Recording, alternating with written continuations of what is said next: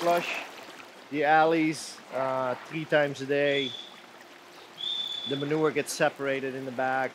We use the solids for bedding, and the wastewater uh, goes on our cropland for nutrition. Yep.